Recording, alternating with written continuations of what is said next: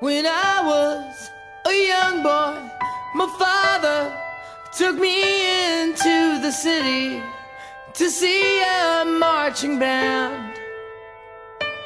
He said, son, when you grow up, would you be the savior of the broken, the beaten and the damned? He said, will you defeat them, your demons? plans that they have made.